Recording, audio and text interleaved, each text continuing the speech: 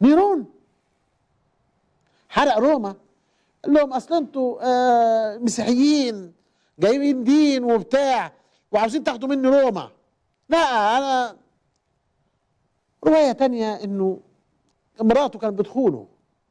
بس كل مستبد عنده واوا يا ابني. كل مستبد عنده واوا. عنده واوا كبيرة داخل بيته وداخل عيلته وداخل حالته المنيلة. وقال لك إنه عنده مشاكل نفسية وده أكيد. وعمل قصر جديد اسمه دوموس أوريا. عشان كده حسب ساسا بوست إنه دي الأسباب اللي حرق بسببها. بص حواليك كده مين اللي بيبني قصر جديد؟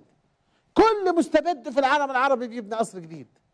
عمرك شفت في أوروبا الحاكم بيجي يبني قصر جديد بالله عليك؟ أنا دخلت منزل بيت آه بيت واحد حاكم في دولة خارجة من الشيوعية ودخلت في الديمقراطية حديثا شقة أوضتين وصالة مساكن شعبية. الحكام الحاليين في أوروبا ما عندهمش قصور يعيشوا فيها. عندهم بيوتهم ومكتبهم. بيوتهم وإيه؟ ومكتبهم. الحاكم اللي يبني أسوار حوالينه عشان الشعب ما يشوفوش وما حدش يعرفه هو نفسه نفس نيرون. الحاكم اللي يسيب وسط البلد يولع أكتر من مرة. هو نفسه نيرون. هو نفسه. ما يفرقش كتير. عبد الفتاح السيسي عن نيرون. الحاكم اللي يعذب شعبه ويقتلهم. الحاكم اللي بيعتبر إن الدين خطر عليه.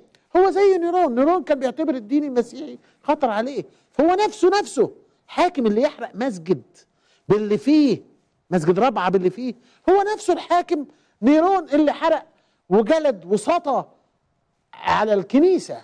هو نفسه مفيش فرق ابدا. اوعى تفكر إن التاريخ ما بيستنشق والله هم نفسهم. وهو أصله مكون بشري. حقد كراهية إحساس بالضعف إحساس بالخيانة إحساس بالإهانة. كل الأحاسيس دي بتتجمع فيه. فلازم يثبت قوته. ويثبتها إزاي؟ على الضعفاء.